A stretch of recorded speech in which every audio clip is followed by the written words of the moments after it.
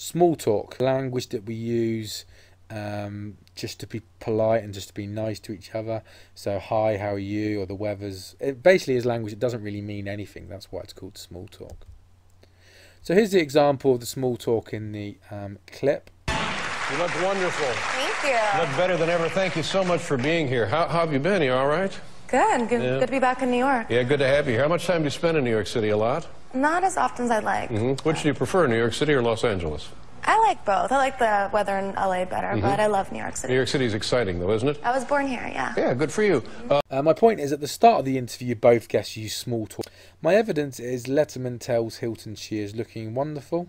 Okay, and I'm just going to explain how this small talk affects the conversation. So Letterman is doing this to ease the guest into the interview with short, simple questions. So really, really simple point evidence explained there. So it's just saying why small talk is used. So he's doing it to make her feel comfortable, make her feel like she can say whatever she likes in the interview, not to feel nervous.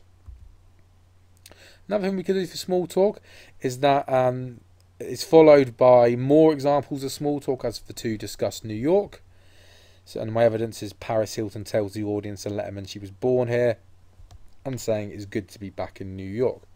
So these two pieces of um, these two quotes about small talk could actually another point you could make is that Paris Hilton is trying to get on the side of the audience.